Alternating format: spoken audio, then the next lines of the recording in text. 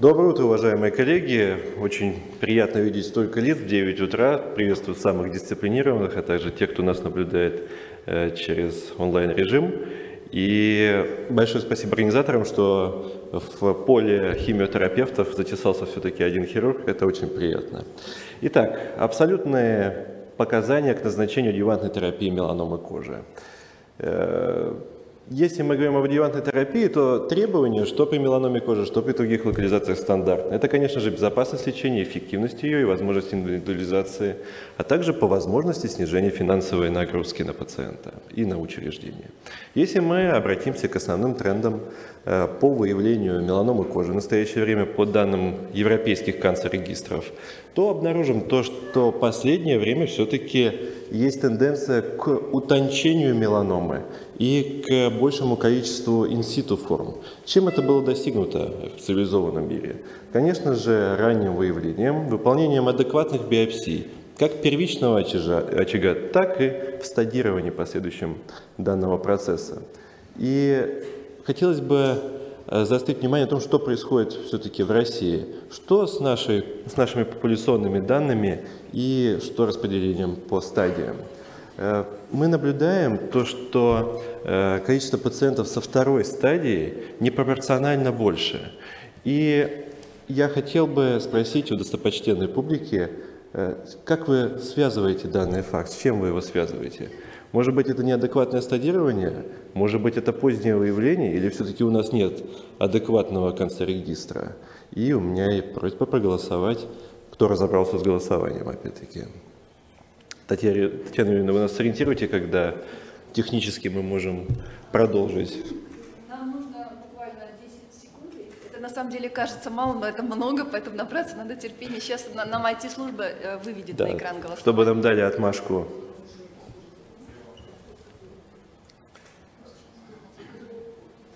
Я, в общем-то, ожидал таких же результатов, потому что э, голоса равномерно распределились. Это и позднее выявление, это и, конечно же, хромает у нас их канцер-регистр, и это, само собой, неадекватное стадирование. Давайте разберемся, все-таки в чем причина. Если мы говорим о стадировании, конечно, мы говорим о э, стадировании GCC 8 версии, и надо понимать, что это колоссальный труд. Это данные 46 тысяч пациентов, которые были обобщены и которые позволяют нам адекватно стадировать заболевание, определить риски, прогноз и, конечно же, последующее лечение.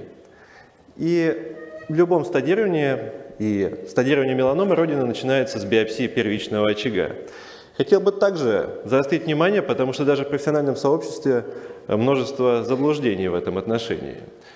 Виды биопсии, которые существуют, естественно, они в данном виде предложены под местной анестезией. Это панч-биопсия, эксцизионная биопсия и не исключением является биопсия ногтевого ложа. Хотел бы уточнить, как вы считаете, разве так можно делать при подозрении на меланому или при клинически выявленной меланоме?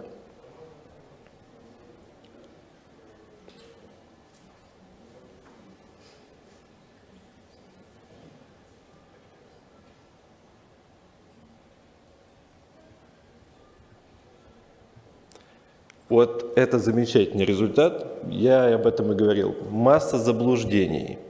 И ответом на этот вопрос являются исследования, крупные исследования. Я здесь привел два, но и гораздо больше. Биопсия подместной анестезии, эксцизионного характера, панч-характера не влияет на отдаленные результаты лечения меланомы. Наша задача вовремя стадировать заболевание, а не заниматься агрессивностью с хирургической стороны. Итак, критерий Т. Э, в новой классификации, нельзя назвать ее новой, это актуальная классификация. Э, принципиально не изменилось влияние э, изъязвления на прогноз, и пороговым значением по толщине является 0,8 мм. Именно это пороговое значение, стадия 1b, заставляет нас выполнять биопсию сигнальных лимфоузлов для того, чтобы стадировать заболевание адекватно. Потому что если мы обратимся уже к критерию N, то обнаружим то, что если не выполнена биопсия сигнальных лимфоузлов, если выполнено только клиническое исследование, э, будь то ультразвуковой или по данным компьютерной томограммы, это не позволит нам стадировать по критерию N и, следовательно, не позволит выставить стадию. Это остается NX. И, естественно, это не позволит нам и дальше стратифицировать пациентов в зависимости от риска и назначить вовремя адъювантную терапию. Наверное, вот это тот момент, то, что в России все-таки не, не везде выполняется, далеко не везде выполняется биопсия сигнальных лимфоузлов, привела к тем результатам, которые мы имеем в канцер-регистре. Преобладание второй стадии. Автоматически выставляется вторая стадия, когда она в европейских странах соизмерима с третьей. И мы раньше могли бы выставлять третью стадию, начинать адъювантную терапию, которая у нас есть в рукаве. Но, к сожалению, этого не происходит. Что такое биопсия сигнального лимфоузла? Мы картируем лимфоотток. Мы в зону первичной опухоли вводим радиоколлоид или красящее вещество и выявляем тот лимфоузел, который берет на себя основное опухолевое напряжение и исследуем его на предмет наличия метастазов. И вопрос, который я, естественно, посвящаю химиотерапевтам. Можно ли выполнять биопсию сигнальных лимфоузлов отсроченно? То есть после того, как мы удалили первичный очаг можно ли выполнять биопсию сигнальных лимфоузлов, или это обязательно нужно выполнять одновременно с удалением первичного очага?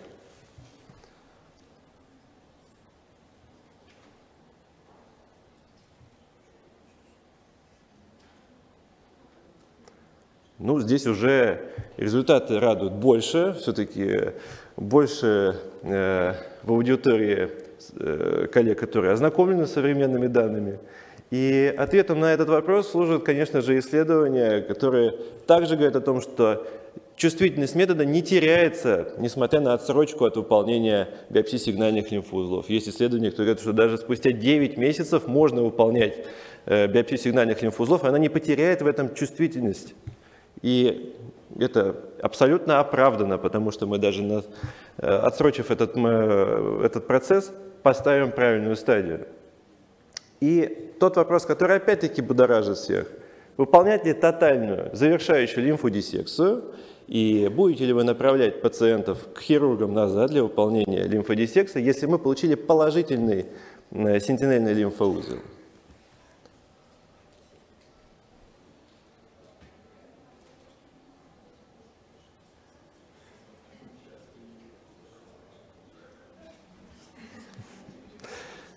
На самом деле провокация удалась, и на все вопросы мнения разделились. И этого, собственно, я и добивался. И это демонстрирует то, что мы до конца не просвещены в отношении современных данных. Я очень рад. Давайте просветимся. У нас есть два рандомизированных крупных исследования, которые как раз и были посвящены выполнять диссекцию после положительного лимфоузла или нет. И по европейским исследованиям, по немецкой меланомной группе мы выяснили то, что результаты после диссекции, э, после положительного лимфоузла не улучшают общую выживаемость по меланоме. Естественно, не улучшают локальное, данные по локальному прогрессированию. Если нет лимфоузлов, нету там и рецидива, собственно. Но при этом общие данные они не улучшают. И самое главное исследование, на которое ссылаются и рекомендации NCCN, и рекомендации РУСКО при выборе тактики после биопсии сигнального лимфоузла – это MSLT-2 исследование, которое является логическим продолжением первого. В данном, э, в данном случае дизайном исследования послужило сравнение двух групп. Э, в одном случае после биопсии сигнального лимфоузла и положительно в результате выполнялась диссекция, в другом нет. И данные абсолютно откровенно говорят, что разницы никакой. И поэтому подвергать пациентов ненужной лимфодиссекции после положительного лимфоузла не нужно, потому что мы знаем осложнения, и это, естественно, отсрочит начало адекватной адъювантной терапии.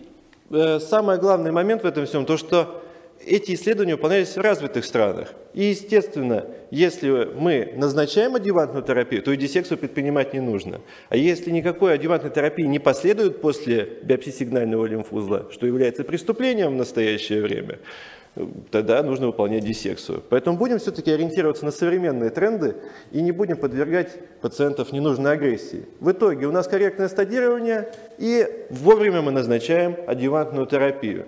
У нас в рукаве сейчас новая волна исследований, которая позволяет нам выбрать адекватную терапию. Я не буду заступать на территорию наших следующих докладчиков, но именно эти исследования позволяют нам выбрать из арсенала, небольшого совсем арсенала, а, адекватную терапию. И так как по программам NCCN, который мы разберем больше, уже исчезает интерферон. Это будет предметом дискуссии на следующих докладах, я убежден. Интерферон остается у нас э, в русских последующих рекомендациях 2020 года. И появляются эффективные средства. И последний вопрос, который я хотел бы задать аудитории. Почему же не отправить пациента на, для корректного стадирования в профильное учреждение? Почему этого не происходит повсеместно? И назначаете ли вы, соответственно?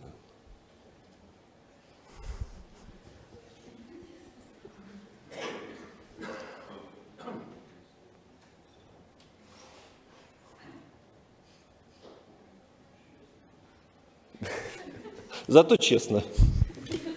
Единственный вопрос, почему не разрешает-то начальство? Что за ерунда?